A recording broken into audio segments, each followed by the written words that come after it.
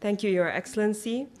I would now like to invite Her Excellency Maria Bassols Delgado, the Ambassador of Spain, who will be presenting at the city of Bilbao. Your Excellency.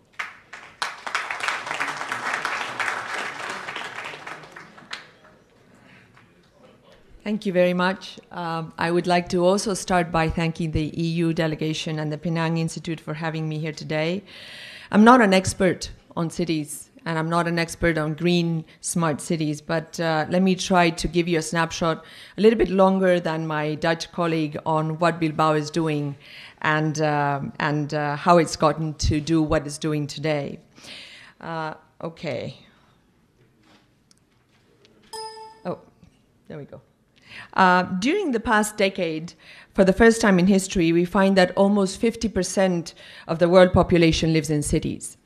Expectations are that in the next decade, the urban population will reach 80%. So in 1959, there were 80 cities in the world with only 1 million inhabitants, with more than 1 million inhabitants. In 2000, this number had grown into 365. Cities are then, and therefore, looking for new models of urbanity to integrate the demographic, economic, social, spatial, and institutional factors which drive global competition. As greater urbanization brings greater urban challenges, the innovative design of cities will need to provide the answers to building, as my Dutch colleague and my EU colleague said, sustainable and creative economies in the 21st century. Let's take a look at a closer look at what Bilbao has done in the past years and how it has faced the challenges. Bilbao is one of the three main cities in the Basque country, which in turn is one of the 17 autonomous communities in Spain, in which Spain is divided. Metropolitan Bilbao is home to about half the population of the whole Basque country. So the Basque autonomous community is made up of 2,172,000 inhabitants. Metropolitan Bilbao is almost half that size, 953,000. And the municipality of Bilbao itself is 354,860 the last time we counted. The city of Bilbao has come a very, very long way from the decade of the, the 80s decade, when it was immersed in a profound crisis and decline, which it had managed to overcome almost 30 years later, reinventing itself as a city and adapting to the new times. So, in a way, we can say that Bilbao has come from being a city of iron to becoming a city of titanium with a knowledge based economy. The success of Bilbao has been supported by four factors. First factor, the people. The people and their willingness to work hard and stand up and change the dramatic situation in which they found themselves and about which I will speak a little bit later on. Today, Bilbao is a city with highly skilled population. Second factor, the economy. The urban regeneration has allowed to create the necessary conditions for the economic and social development of the city and to boost new technologies, innovation, entrepreneurship, creativity, and knowledge. Now, let me give you an example. 20 years ago, Bilbao, in Bilbao, the industrial sector, industry, represented 49% of the economy, and services represented 36%. Today, services represent 62% of the city's economy, and the industry represents 27%. But this industry has also changed, and it now is, and it now is an industry with high added value. This transformation has been achieved through support for emerging sectors with very high level of research, development, and investigation. Third element, innovation. Bilbao has created the necessary conditions to favor knowledge, innovation, and creativity, and with the main objective of reactivating the economy and generating employment. Some of the most important projects are the Zorrozaurre Creative District, the Digital City District, and the Innovation Hubs, among others. Fourth, let me see if I have the correct one. I think so. Has it changed?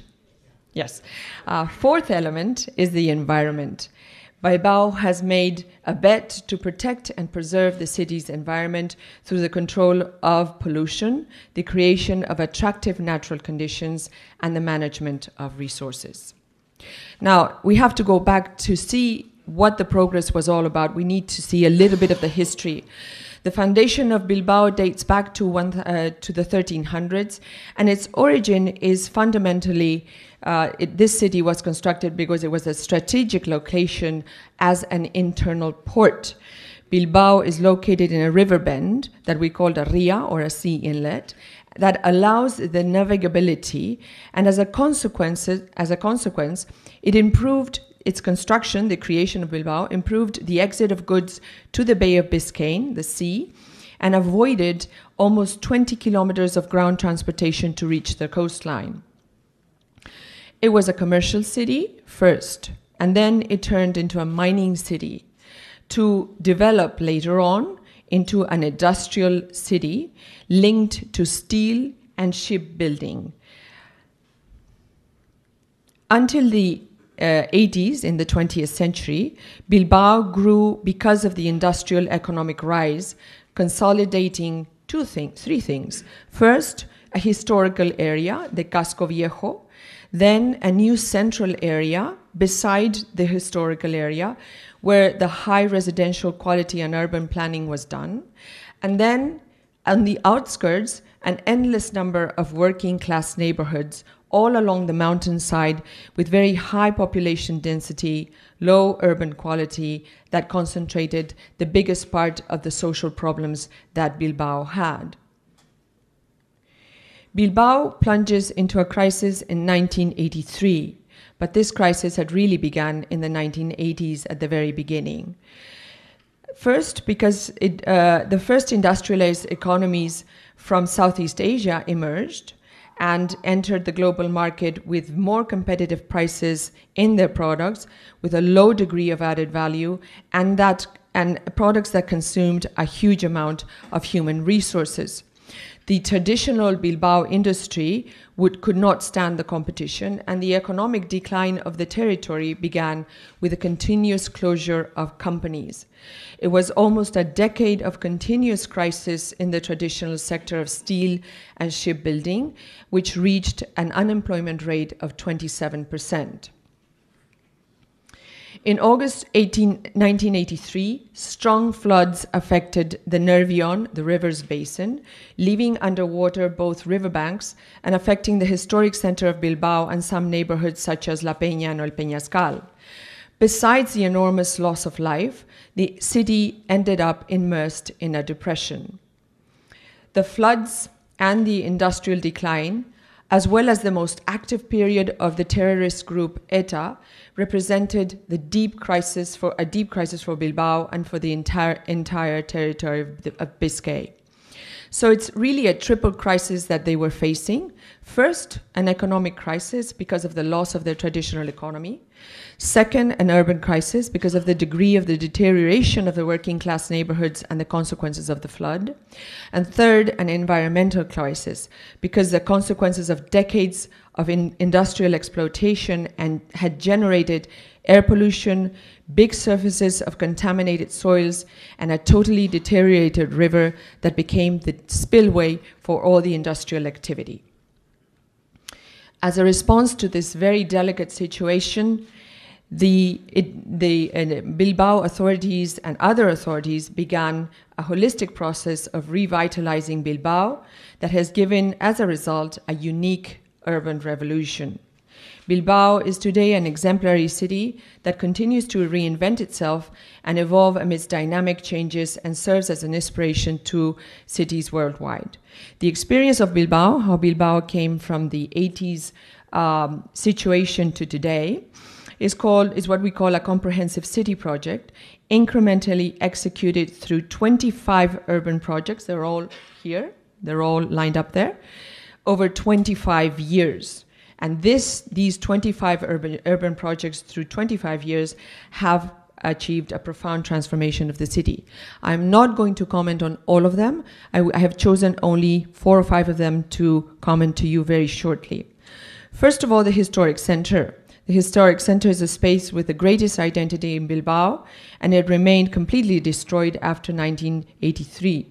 Today, it's a diver- diverse, compact space with a mixture of uses and activities, highly educated population, social balance, a renewed traditional architecture, good urbanization, high social density, and an incomparable metropolitan connectivity through the metro and tramway that I will speak about later on. Another important project was the port extension works that began in 1993. What they did was mainly shift the port activity from where it was in the city to the mouth of the river, 20 kilometers onwards. Uh, and this, what this did was open up inner port areas with a high strategic value for new makeup for the new makeup of the city creating an opportunity for new bridges to be built and thus providing the city with a new physical financial and social lifelines the freeing up of the port and industrial spaces along the river uh, gave way to main projects for the new city of Bilbao. Uh, the vision, but these new projects were only uh, were only uh, uh, could only be done with a very big vision of what the city would have to look like, with a lot of political leadership, with private uh, public partnerships, and the development of intelligent in- instruments to do this for the transformation of the city. One of such instruments was the Bilbao RIA 2000. The Bilbao RIA 2000 is a company that was created in uh, 1992 with the intention of recovering formal industrial space around the city. Bilbao RIA 2000 coordinates and executes projects in relation to town planning, transportation, and the environment. And all, all of this is done not only with the municipality of Bilbao, but also with other institutions, central administration in Spain has helped, and public private collaboration. Another project that I really wanted to uh, underline today and to bring to your attention today was the cleaning up of metropolitan Bilbao. 95% of the pollutant load of the river has been eliminated. This ambitious plan required an, invest- an investment of 800 million euros, roughly six times more than the cost of building the Guggenheim Museum, and it was financed by increasing the rates paid by citizens for water consumption. The environmental recovery of the river and the most important was one of the most important projects, and it en- enabled the city to open up to the river. Up until then, the city had lived with their back to the river because the river was so polluted. Once the uh, river was recovered, then the city opened up to this river. The bridges have a specific significance in the urban model of Bilbao.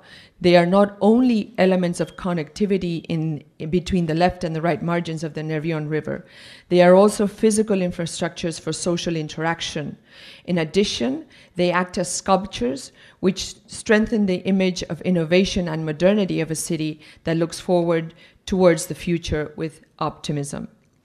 Transportation is the other sector I wanted to touch upon because it's the great bid to improve uh, metropolitan connectivity in this city has been essential to recover uh, Bilbao. Since its inauguration in 1995, the Metro of Bilbao, which was designed by Norman Foster, has uh, been used by one 1,000 million people. The other uh, big transportation project that was done was the burying underground the existing railway lines and this has been key to improve urban spaces. Once you bury the uh, railway lines underground you free up urban spaces up in the in the in the existing um, uh, urban spaces and you can create other things the other transportation mode that is very very popular in bilbao is the tram uh, you can have electrical trams, they're non polluting trams, but you can also have non electrical trams that have a number of hours of uh, usage around the city. And the tram has become a key player in the functional integration of new projects being developed around and on the riverfront. Bilbao's tramway is a new surface transportation system which connects old Bilbao, the historical center, with the more residential area, the Ensanche. Finally, the Bilbao International Airport, designed by the Spanish architect Santiago Calatrava, very well known in Spain and outside of Spain. It has already uh, uh, transported almost 4 million passengers per year. One of the things that I would like to comment on is what we call the Guggenheim effect. The Guggenheim, as you know, is the main museum in Bilbao, it but it represents also not only an art piece in, in and by itself, but also a society's willingness to change and the confidence and determination that it is possible to reinvent itself and build a 21st century Bilbao upon territorial ruins and, exhausted produ- and an exhausted production system. New urban hotels are also need to be mentioned because they not only open conference and event centers that are very much needed in Bilbao, but because they're also landmarks of the city. Uh, Frank O. Gehry's Guggenheim Museum is one of the most spectacular architectural works of the 20th century, and it's one of the most popular visiting attractions, as is Norman Foster's design of the Bilbao Underground, both of these architects, winners of the prestigious Pritzker Prize, as along with other Spanish architects, have helped in developing important projects in Bilbao. But it's not only them, it's also other artists such as Salvador Dali, as Chillida, uh, Jeff Koons, Louise Bourgeois, Vicente Larrea. All of these uh, artists have pitched in and have also given new dimensions to many of the urban spaces in the city of Bilbao. Bilbao has certainly come a long way.